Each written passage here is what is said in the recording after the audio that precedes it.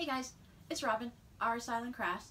This is Talk to Me Tuesday for Tuesday, August 22nd, 2017. This past week's been a busy one, but it has not been busy in the craft room. I spent a lot of time running errands and doing chores around the house.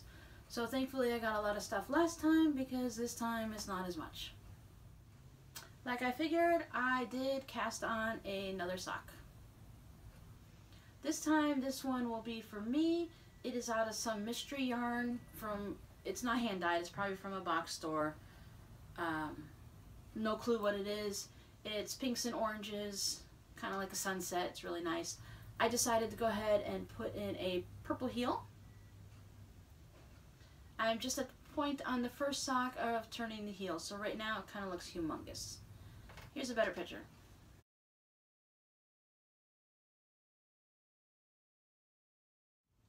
With my mystery quilt, we finally reached clue 8 last week where we got to sew our blocks together. Once we got to the point where it's just two blocks, it was really easy to kind of guess at what we were going to do. One block is pretty much the same all the time, and the other one we just turned on each one. The block went one way on an even row, and we turned it to go a different way on an odd row. I think clue 9 is where we're going to go ahead and add a border to it because in the beginning we chose a border fabric but mine already measures 45 by 63 and I think that's going to be enough.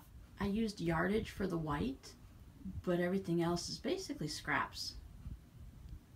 Definitely the small two and a half inch squares were all from scraps.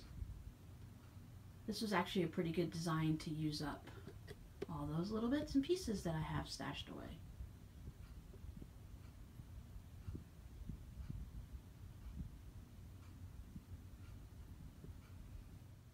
Still have to figure out backing fabric for it. I know with that size I don't have any I don't have any extra wide backing or regular backing or whatever that's going to fit on it so I'm going to have to piece that one also.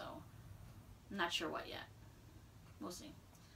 So as it stands without the borders it measures 45 by 63 and I think that's a pretty good size just for keeping on the couch or lap quilt or whatever, small child. So I'm just going to go ahead and leave it at that. I really don't feel like putting borders on it.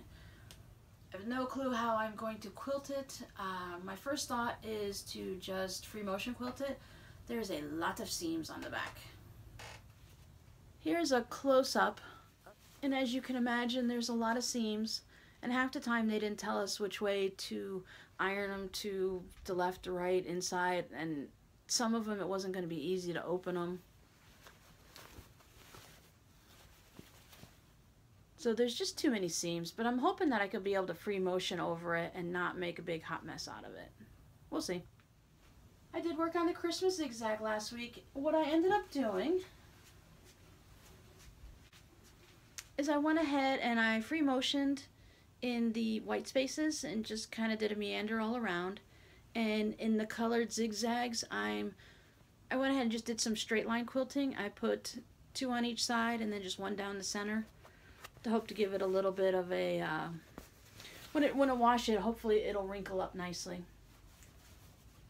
And of course I patched the back.